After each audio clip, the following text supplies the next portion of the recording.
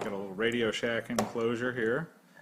Um, There's an LCD, which is uh, nicked from, uh, I don't know, some other device. Uh, rotary encoder from an old uh, Roland um, synth. Um, Three buttons taken from an Atari tape deck. Uh, MIDI in, uh, USB cable. Um, Power, reset, little LED, and a power cord. Um, You get to set the main output channel, how, whether you want to transpose it, uh, whether you want to play or mute, and any velocity scaling that you want to do. Uh, The parallel voice, let's tune it up seven half steps, or a fifth. Um, And we're going to scale the velocity so it's not quite as loud, maybe bring it down to about 80%. Uh, The harmony track, we're going to have rotate, um, and we'll leave that playing. We'll bring that down a little bit in volume.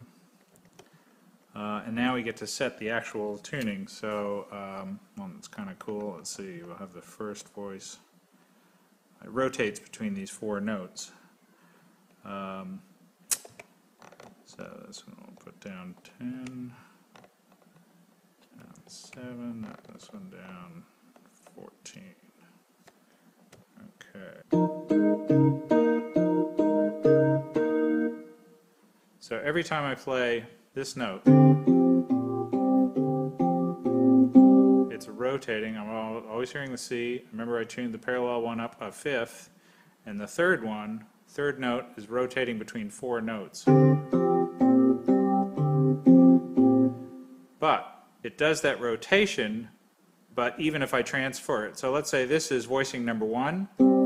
Now it's going to play voicing number two, but starting on E flat. Now it's going to play voicing number three, starting on G, and voicing number four.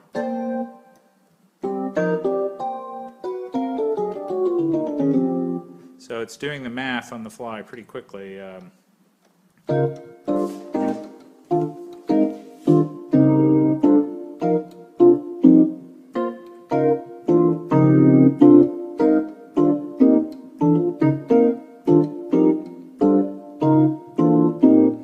By playing two notes in, I'm hearing six notes out. Um,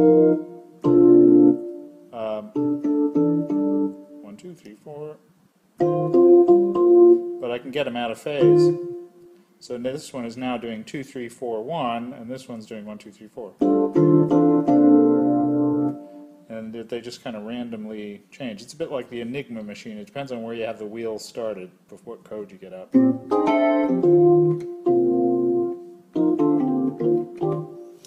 So let's see.